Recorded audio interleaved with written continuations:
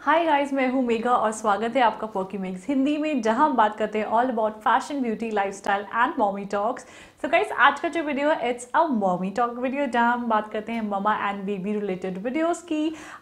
तो आज का जो वीडियो है इट्स इशू जो हम सब न्यू मॉम्स फेस करते हैं दैट इज़ सैगिंग ब्रेस्ट तो आज मैं आपको बताऊँगी कि what is a right kind of bra जो सैगिंग ब्रेस्ट जब हमारे हो जाते हैं तो हमें यूज़ करनी चाहिए, किस टाइप की ब्रा बिकॉज़ बहुत ही कन्फ्यूजिंग होता है। ड्यूरिंग द होल प्रेगनेंसी पहले तो हमारा साइज़ जो है वो चेंज होता है and then after breast feeding जो है ब्रेस्ट सैग हो जाते हैं। So then it's little bit problem क्योंकि जो suits uh, saris and tops में जो लुक आता है वो अच्छा नहीं होता आता है। तो आई नो मैं भी बहुत ज़्यादा कन्फ्यूज़ थी कि you uh, know you know, कौन सी ब्रा आई शुड यूज़ जिससे कि यू नो लुक जो है वो अच्छा आए एंड फाइनली थोड़ा सा फिटेड एंड ठीक लगे इन सिंपल वर्ड्स तो let's start this video so सबसे पहले the type of bra which you should use when you have sagging breast is a push up bra so push up bra जो होती है उसका जो है uh, ऐसा होता है कि वो आपके ब्रेस्ट को लिफ्ट देती है विच इज़ रिक्वायर्ड जब आपके ब्रेस्ट सैग हो जाते हैं.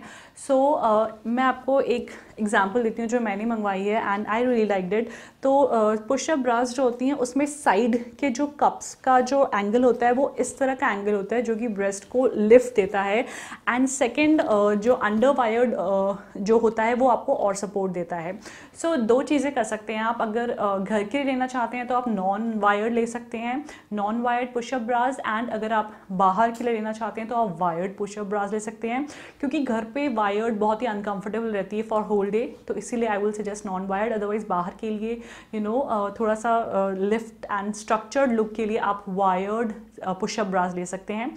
नाउ नेक्स्ट क्वेश्चन इज़ कि आप ये कहाँ से लें? तो पुशअप ब्रास आप कहीं से भी ले सकते हैं। ऑनलाइन ऑफलाइन ऑनलाइन आपको जवामे क्लोविया एंड देन मिंत्रा पे भी बहुत सारे ब्रांड्स मिल जाएँगे। uh, मैंने ये जो पुशअप ब्रा ली है I got it from H N M but मेरी फ्रेंड्स ने मुझे सजेस्ट किया कि ट्रायम uh, की भी फुल कवरेज पुशअप ब्रास बहुत अच्छी होती हैं स्पेशली फॉर न्यू मॉम्स जिनके सैगिंग ब्रेस्ट हो जाते हैं।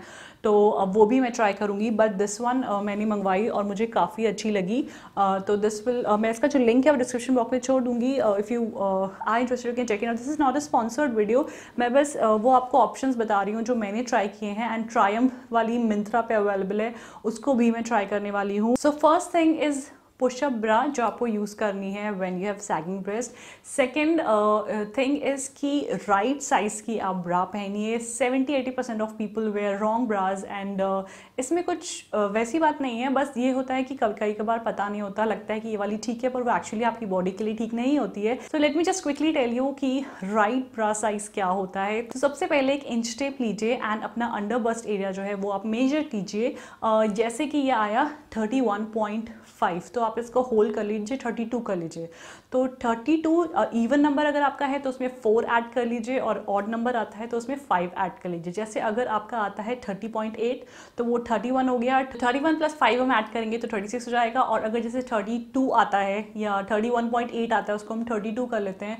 तो थर्टी टू प्लस फोर क्योंकि टू इवन था इसलिए फोर ऐड करेंगे तो वो थर्टी सिक्स हो गया। तो ये हो गया आपका बैंड साइज़ ओके नाउ आप अपना ओवरबर्स्ट एरिया जो है मेजर कीजिए। एंड याद रखिए कि ये जो आप मेज़रमेंट लेंगे। इस वक्त आप पहनिए एक non padded normal cotton bra और तब आप ये साइज़ मेजर कीजिए। बहुत ज़्यादा टाइट नहीं करना है इन स्टेप को बहुत ज़्यादा लूज़ नहीं करना है जस्ट राइट साइज़ मेजर करना है।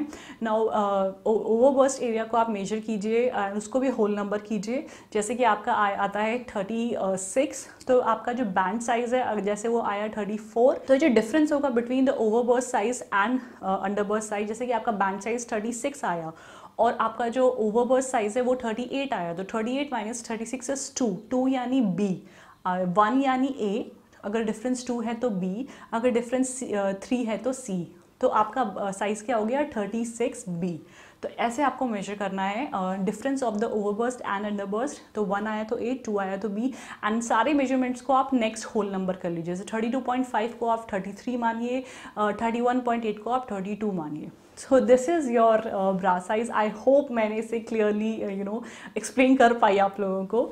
ना जो तीसरी चीज़ है which is very important guys कि बहुत बार ऐसा होता है कि we don't feel comfortable in bra and we go braless at home but sagging breast के केस में ये आपके जो ब्रेस्ट हैं दे नीड सपोर्ट तो you should definitely always wear a bra at least during the day time so don't go braless because sagging breast को lift की बहुत ज़्यादा सपोर्ट की ज़रूरत होती है। Specially after breast feeding so guys this is all about today's video I hope मैंने अगर आपकी कोई क्वेरी हो इस इस टॉपिक पे तो मैं सॉल्व कर पाए बिकॉज़ मैं भी इससे बहुत ज़्यादा स्ट्रगल कर रही थी and then finally I found the right solution तो मैंने सोचा, आप सब न्यू मॉम्स के साथ ज़रूर शेयर करूँ. And also second breast is common in new moms लेकिन ये और लोगों के भी होते हैं तो you know you can also try these kind of bras and last thing please love your body don't hate your body because you know specially as a new mom I can say that this body has given me a beautiful child so इसको embrace कीजिए and बस right type of कपड़े and innerwear पहनिए and be confident and love your body क्योंकि you know इसने आपको बहुत अच्छी अच्छी चीज़ें दी हैं so guys this was all about today's video I hope आपको ये वीडियो पसंद आया इफ़ यस इस वीडियो को थम्स अप देना ना भूलिए एंड सब्सक्राइब कीजिए पोकी मेक ज़िंदगी को ऐसे और इंटरेस्टिंग वीडियोज़ के लिए मुझे इंस्टाग्राम पर भी फॉलो कर सकते हैं मेरा इंस्टाग्राम का हैंडल है Poki Makes to follow me there मिलती हूँ आपको अगले इंटरेस्टिंग वीडियो में feel beautiful be stylish bye